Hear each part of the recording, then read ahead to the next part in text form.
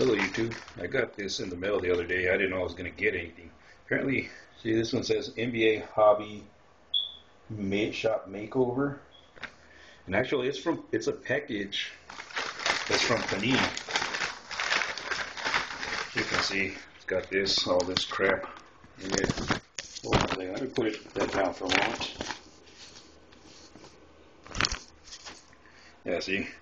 It's from their how do you call it?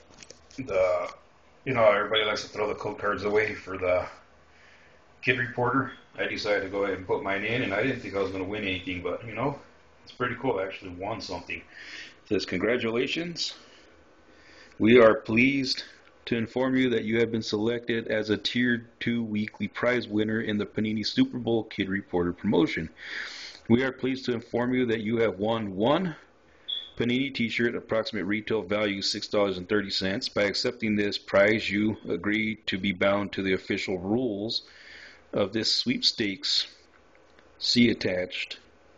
We are excited to award you this prize and appreciate your participation in the promotion. If you have any questions, do not hesitate to contact Kristen Jonas, who is coordinating the award ding of prizes for this program.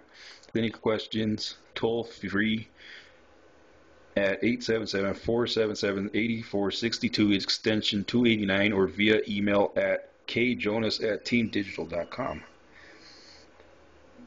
On behalf of everyone at Panini Inc., thank you for participating in the Super Bowl Kid Reporter Promotion Series Panini America. There's just a bunch of other stuff that, you know, rules and guidelines and all that crap. Anyways, a.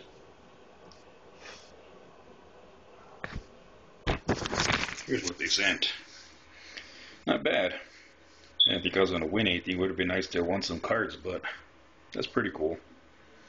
Would have been nice if they would have sent me one of their uh, rated rookie T-shirts, but that's not bad.